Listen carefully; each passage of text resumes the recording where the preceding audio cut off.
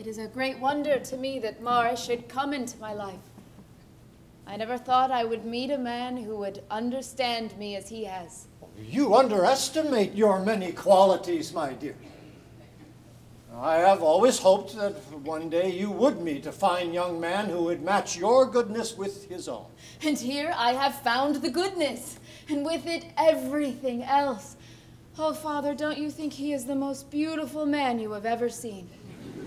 He is very good looking, my dear. Of course, you wouldn't let that sway you unduly. Oh, no, no. But that is what is so wonderful to me that he should have everything, everything that a woman could want. And he wants me. Doctor, don't you care to gratify your daughter? Do you enjoy the idea of making her miserable? I'm resigned to her thinking me a tyrant for a few months. For a few months? Well, for a lifetime, then. She may as well be miserable that way as with you. Sir, you are not polite, sir. You argue too much. You push me to it. Dr. Sloper, I have fallen in love with your daughter.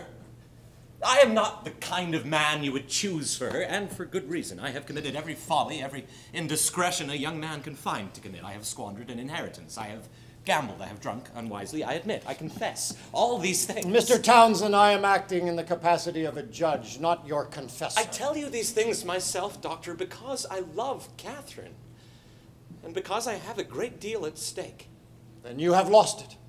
No, sir. Just as surely as if you've placed your pittance on the losing number. It is over. You have lost. Don't be too sure of that, sir.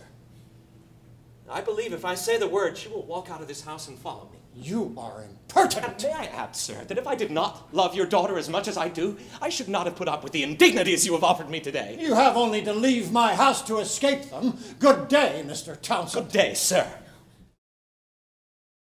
What has he done, Father? What did Mrs. Montgomery tell you? Nothing I did not know before. Mrs. Montgomery, my sister. Yes. What did she say? Have you spoken with her? She paid me a visit this morning on my invitation.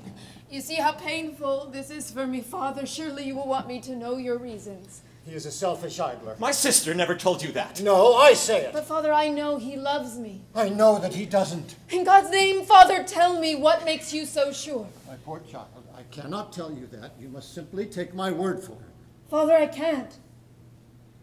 I can't. I love him. I have promised to marry him, to stay by him no matter what comes. So he forearmed himself by getting a promise like that, did he? You are beneath contempt. Do not abuse him, Father.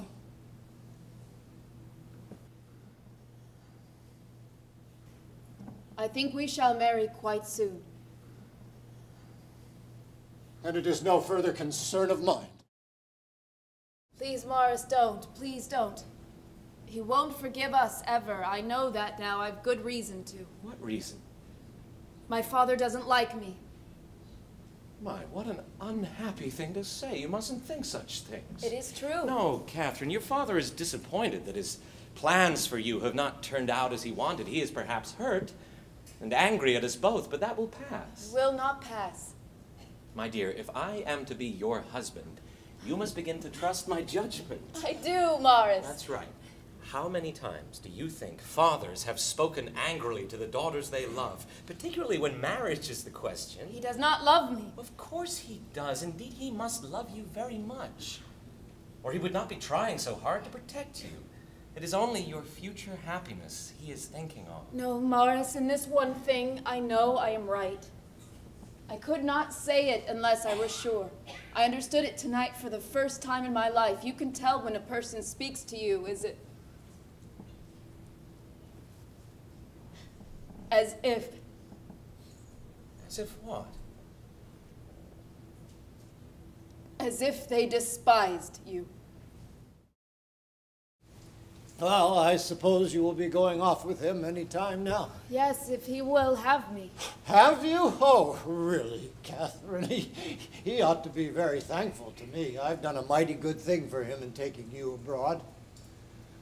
Six months ago, you were perhaps a, a little limited, a little rustic, but now you have everything. You have seen everything. You have appreciated everything. You will be a most entertaining companion. I will try to be. Well, you will have to be very entertaining indeed, my dear girl. Your gaiety and brilliance will have to make up the difference between the 10,000 a year you will have and the 30,000 he expects. He does not love me for that. No? What else then, Catherine? Your beauty, your grace, your charm, your quick tongue, subtle wit? He admires me. Catherine, I have been reasonable with you. I have tried not to be unkind, but now it is time for you to realize the truth. How many women do you think he might have had in this town? He finds me pleasing. Yes, I'm sure he does. A hundred are prettier, a thousand more clever, but you have one virtue which outshines them all. What? What is that? Your money.